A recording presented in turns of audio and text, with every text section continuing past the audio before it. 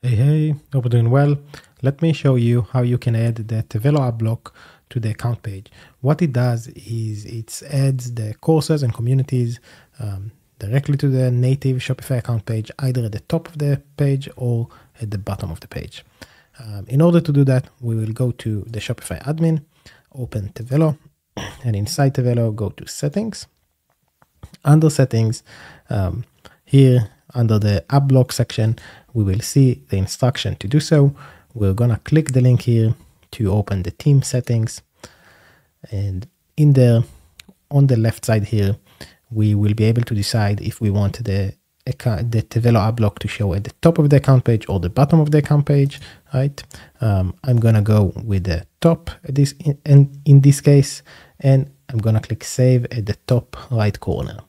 Once I've done that, um, I can close this page and go back and verify the installation. Once we verify the installation, it should um, show us a green mark here showing everything is okay.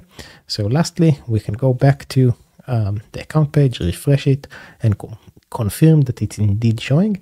And yes, in this case, we can see the courses that we have access to and the communities that we have access to. Please let me know if you have any questions or issues. Thank you. Bye bye.